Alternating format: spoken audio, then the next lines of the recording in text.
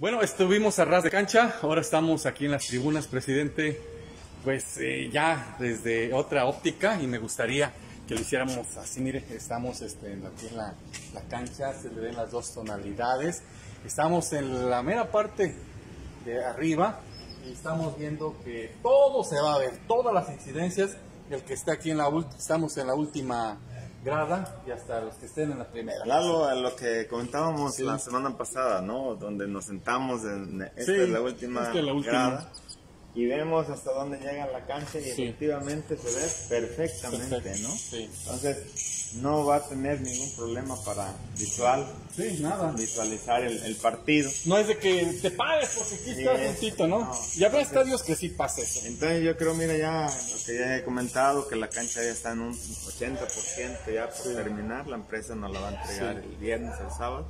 Como ves, del lado norte ya está marcada la área chica, área grande, la media luna.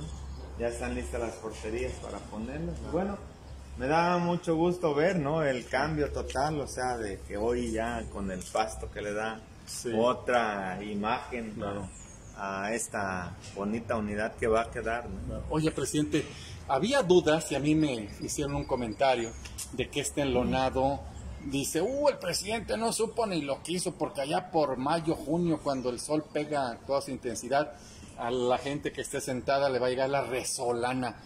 Díganos, porque creo que no es así. Cuéntenos. No, no, no, este, este es un tipo de lona, Ajá. Lalo, que es térmica, Sí. o sea, rebota el calor, ¿no? Sí. Entonces es más caliente, yo te aseguro y te garantizo, la lámina galvanizada Ah, no, que todo esta lona, Sí, ¿no? Entonces, no son térmicas. es una, además está muy alta, o sea, Sí. tiene, tiene ventilación Tiene hasta por ventilación, atrás, sí. entonces no va a haber ningún problema, ¿no? Para esos que tienen duda de que Sí. ah, se va a calentar mucho, ¿no? De ninguna manera, ¿no? Presidente, sabe que no es cualquier lona, es una lona geotérmica que llegan los rayos y los rebota y no filtran abajo y por lo tanto la gente que estemos sentados no vamos a estar No, no, no, claro, desde luego, y además es una es un tipo de lona, o sea, pues es cara, cara el, el costo, pero además este, la garantizan para 10 años, ¿no? Sí. No es cualquier tipo de lona, ¿no? Es la que le ponen a los camiones de carga. Presidente, le voy a hacer una pregunta muy difícil. ¿Esto es lo que soñó José Luis Ávila cuando vio el proyecto? Sí, lo soñé desde el 2000, 2017. Lo vi cuando gané la reelección, precisamente, Sí. no, en el 2018, cuando gané la reelección, en mi mente, luego, luego al inicio de, de ese trienio, dije, vamos a construir una unidad deportiva, ¿no? Porque así lo exigía la juventud deportista. Sí, fíjese que yo no sé si la gente tomó fotos o tiene fotos en esta cancha porque eh, como era el Real, pues ya nunca la vamos a volver a tener. Esto es ya algo más estilizado, más, no más, y es profesional, presidente. No, además hay que presumir, va a ser un pequeño estadio, ¿no? Un estadio, pues, como lo he dicho, la cancha tiene las medidas reglamentarias, tiene eh, todas las cualidades para ser un estadio, o sea, el, el drenaje, el drene que tiene, Sí. o sea, es un, es un campo profesional, ¿no? Eso le iba a decir porque la gente que es más pesimista todo ve un poco de dificultades y eh, alguien me dijo alguna vez, eh, ahora pues ya lo entiendo bien, cuando empezó, no, vas a ver, ahora que caiga un aguacerazo, eso se va a inundar, pero ya vimos y lo hemos estado remachando al cansancio de que tiene buenos drenajes, cae un aguacero y media hora está seco. No, sí, desde luego, por eso el drenaje del que mucho hemos hablado, Lalo, Sí. del lado poniente, del lado oriente, del lado norte, y que además, o sea, eh, descarga, ¿no? El, Sí. todo el agua fluvial hacia la, hacia la cuneta de la Claro. carretera para que también no inunde, ¿no? Parte también de, la, de la parte de afuera.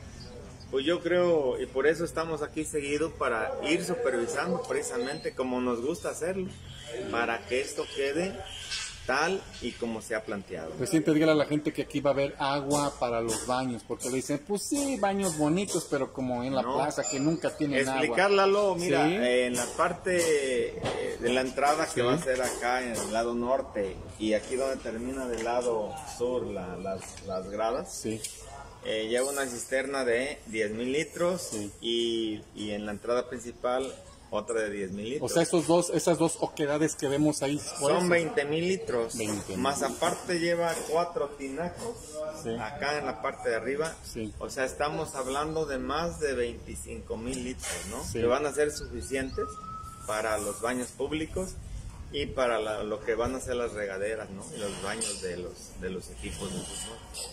Sabemos que estamos escasos de agua, por eso precisamente planteamos de que fuera paso sintético, porque bueno, ya para darle mantenimiento con agua a un paso natural, pues sí se complicaría mucho el, darle el mantenimiento necesario, ¿no? Por eso eh, paso sintético y que bueno, pues es cuestión de adaptarse nada más al, a ese tipo de paso. José Luis Ávila le pasó por la mente alguna vez cuando iba a hacer esto, ah, pues vamos a cobrar porque tenemos que eh, recuperar la inversión, aquí se va a cobrar.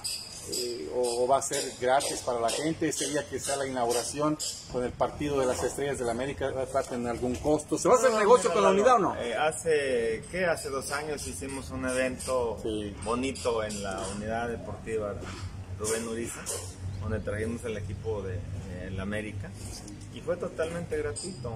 Pues, estábamos en feria precisamente, ¿no? Y, hoy, bueno, se pretende también hacer algo así, dependiendo también de, de qué semáforo estemos. Sí. Pero por ninguna vez me ha pasado por la mente de, cobrar, ¿no? O sea, lástima que, bueno, eh, la, la unidad se hace para la gente eh, espero que la próxima administración también piense igual, ¿no? Pero, no cobrar. Fíjese que esto eh, lo comentamos hace algún corto tiempo, porque si se acuerda usted cuando hicieron el casino deportivo se cobraba un peso de entrada y ya después cinco pesos que para los gastos y... Pero cuando yo fui presidente en el 2002-2005, sí. dejamos de cobrar. Sí, porque bueno, sí, claro, se, hubo un momento en que ya, no, se cobraba y, yo creo que pues si es algo que hace el gobierno municipal, pues bueno, es para la en las fiestas que hemos hecho de febrero las hemos hecho totalmente gratis. Entonces, bueno, entonces yo lo que siempre me gusta es que la gente asista, la gente humilde, la gente que tiene, todo tipo de gente que vaya a divertirse y, bueno, ya lo que quiera consumir es desde un refresco, una cervecita, pero que la, toda la gente se divierta. Claro, eso, eso nos tiene que ir quedando bien claro, amigos, porque saltan de repente todas estas preguntas que le estoy haciendo, presidente. Otra también, la gente y algunos deportistas, pero no nos van a dejar jugar. Y es que usted ya dijo que para cáscaras, ¿no? Esto es para cosas oficiales, para la liga, por ejemplo, partidos.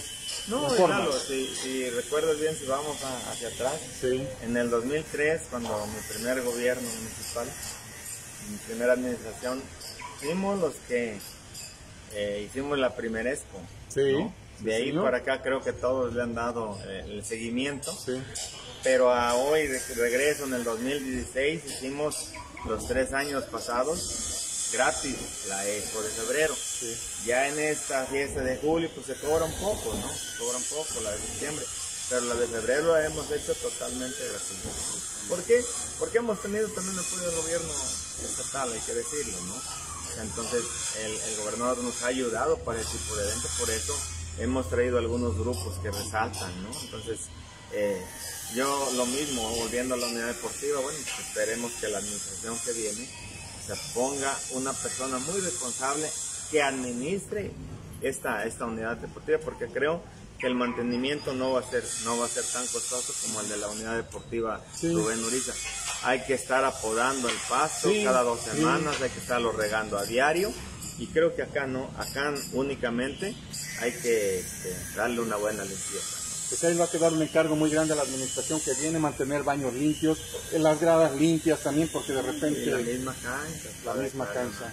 Una cepilladita, ¿no? ya eh, daremos una, una entrevista después bien, cuál va a ser el, detalle de darle mantenimiento a la cancha. Pues nuevamente digo, presidente, y así lo reconozco yo como ciudadano, olvídese que, que sea yo aquí reportero, trabajador del ayuntamiento, como ciudadano, agradecer y, todo, en todas las administraciones lo que hace el gobierno municipal. Y esto que, es impresionante, porque la gente cuando venga por primera vez, quizás nos vean estos videos, pero una cosa es verlo en video y otra cosa es que estés pisando esto y que lo veas físicamente, presidente. Va, a, va a estar muy bonito porque, bueno, pues una, como lo hemos dicho, ¿no? La luna, una unidad muy completa con su andador, con, este, pista de tartán, este, la cancha de vóley, la cancha de básquet yo ya me estoy imaginando aquí lleno de gente totalmente en todas las tardes. Claro, sí, y, también decirle a la gente que eso sí, caminar, eso sí va a poder entrar toda la gente a caminar tanto en la unidad deportiva Rubén Uriza como en la unidad del Real a caminar en su cancha de tartán. Vamos a tener esa pista que De son creo, atletismo, de atletismo, son ¿verdad? Cinco carriles. Cinco carriles. 70 metros de, de Sí. longitud. Y, y bueno, pues este, yo creo, te digo, completamente, ¿no? Sí. O sea, la- muy completa la, la, la parte de la, Sí. de la unidad. Presidente, otra pregunta. Esto no solamente va a ser en la cuestión deportiva, me imagino en la cuestión artística, en la cuestión cultural. Yo le decía hace rato que el concurso de, de- de bandas, el concurso de tablas rítmicas, el concurso de, de todos los concursos Fíjate deportivos. Que, fíjate que buena idea esa. Siempre nos llevamos las bandas, ¿no? A, musicalizadas a, a la Plaza de Toros, Sí. ¿no? Creo que este sería un, un, un lugar. Un escenario perfecto, sí. ¿no? Perfecto para hacer ese tipo de eventos, ¿no? Claro. Pues presidente, muchas gracias por mostrarnos, mostrarle a la gente, pues esto que el gobierno municipal es su tarea, hacer obras. Eh, mucho se decía, y yo era los que decía, pues los presidentes como que no le apuestan a la cuestión deportiva. Usted nos ha demostrado que sí, que la unidad está en remodelamiento todos los días, en mantenimiento todos No, los y días. la hemos, le hemos dado un buen mantenimiento Claro. a, la, a la Rubén Oriza, ¿no? Inclusive, a mí en la primera administración me tocó hacer su techado. Sí. Y bueno, el pasto está en perfectas condiciones.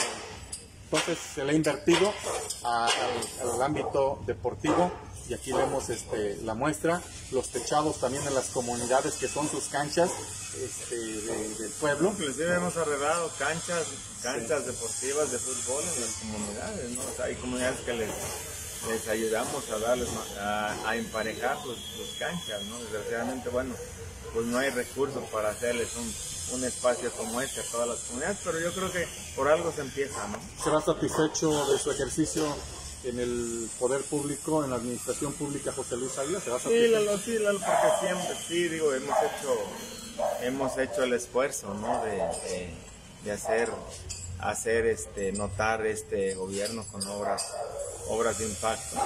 Como decirte que con ayuda del gobierno este, estatal se rehabilitaron 77 escuelas, ¿no? De, de un total de 95 que tenemos en el municipio.